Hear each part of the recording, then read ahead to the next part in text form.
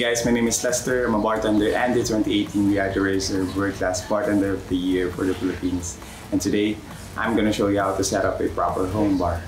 Now for everyone who enjoys making drinks and entertaining friends and family at home, a home bar is essential. A home bar is always an invitation to drink. Now the first step to constructing your home bar is to establish a space or a sturdy top where you can put your entire home bar essential. It can be a cart, a countertop area on a console, or a simple tray. The goal is to take it out of the kitchen and into the places where people actually drink, like your living room. Now the second step is stocking the bar. When it comes to stocking your home bar, you don't need a lot of booze that might cost you a fortune. You have to remember, you're stocking up a home bar, not an actual cocktail bar. So basic spirits. You want vodka, gin, tequila, rum, whiskeys, uh, brandy, or cognac. And don't forget to stock up bottles of wine. If you're a fan of martinis, Manhattans, or Negronis, you will need vermouths, dry and rosso.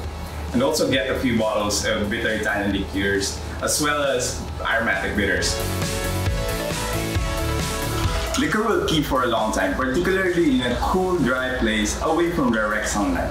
But keep in mind that the lower the liquid level, the more quickly you should consume your liquor, as the air in the bottles will leach out the flavors. Vermouth, though fortified, is still a wine and therefore should be refrigerated and drank fairly quickly or just get a smaller bottle if you can. Now, if you're into sours, like whiskey sour, daiquiri, or bee's knees, stock up a few citrus juices and syrups, but make sure you consume them quickly or keep them in the fridge.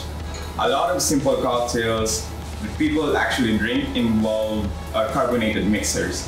So the next time you're at the grocery store, make sure you grab a few cans or bottles of lemon lime soda, uh, tonic water, soda water, or ginger ale. Believe me, when it comes to making quick and easy drinks at home, mixers are your best friends. Lastly, super important ingredient is ice, but it's often overlooked. Whenever you start making drinks, make sure your ice is clear, clean, and fresh. If you want to be particular with ice, get a few 2-inch silicone block trays that you can definitely find online. Also, if you're mixing drinks occasionally, opt for storing ice cubes in Ziploc freezer bags. This way, it won't pick up unwanted aromas from your pizza. And your highball won't have to taste like chicken burrito.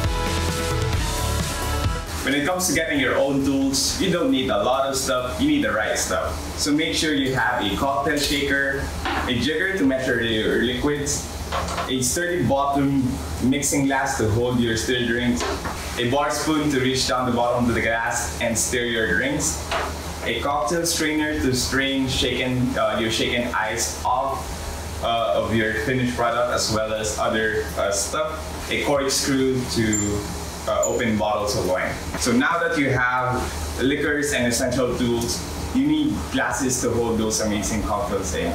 So you need a few. Rocks glasses, highballs or Collins glasses, uh, wine glasses, and coupettes. Last but not the least, everyone needs a guide. So a few cocktail books are essential for your home bar. I'm a bartender and I'm having a hard time remembering all these classic cocktail recipes. So a few cocktail books will do. Leave one on the bar, encourage your guests to browse through the pages and fix themselves a drink. makes your life 100% easier. Now that you got a proper home bar setup, let's make some drinks. I've got a simple yet refreshing one for you to start with. What we're going to be doing is a rip on the classic uh, highball, which is called soju highball. So highball is a classic cocktail made with a uh, an alcoholic-based spirit and a larger proportion of a non-alcoholic mixer. The ingredients are really simple. It's just Scotch whiskey, um, peach soju, and tonic water. So we're gonna start with 45 ml of Johnnie Walker's Black Label. So for those of you who don't know, soju is a distilled alcoholic beverage from South Korea that is traditionally made with rice. But um, it may also be made from sweet potatoes, tapioca, um, barley, wheat, or any combination of those ingredients.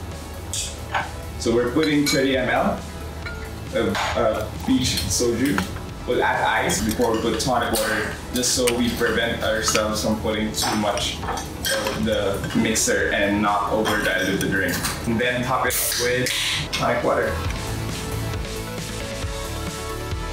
Give it a light stir, just so we can incorporate all the ingredients. There you go. And then garnish it with lemon wedge. That's it. That's uh, soju highball. It's really easy to make and the ingredients are really super simple. Constructing a home bar isn't as intimidating as it may seem.